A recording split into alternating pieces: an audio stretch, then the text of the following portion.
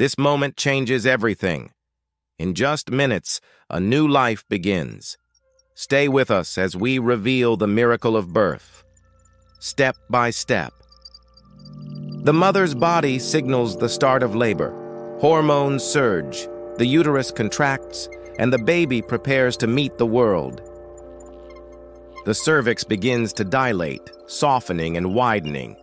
Each contraction pushes the baby gently downward. Inside the womb, the baby turns its head, aligning perfectly with the birth canal, a critical step for safe delivery. Contractions grow stronger, faster, and closer together, helping guide the baby lower into position. This is the transition phase, the most intense part of labor.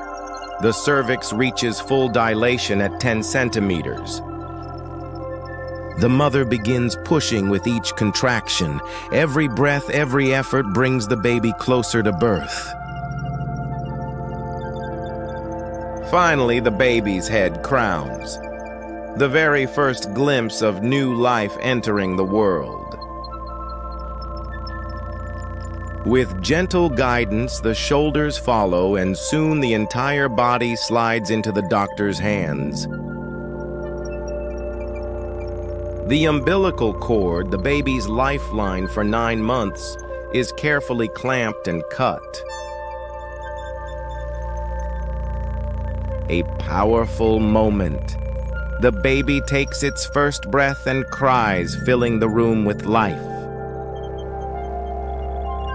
Skin to skin contact begins. The newborn feels warmth, security, and love on the mother's chest. The medical team clears the baby's airways, ensuring smooth breathing and a steady heartbeat.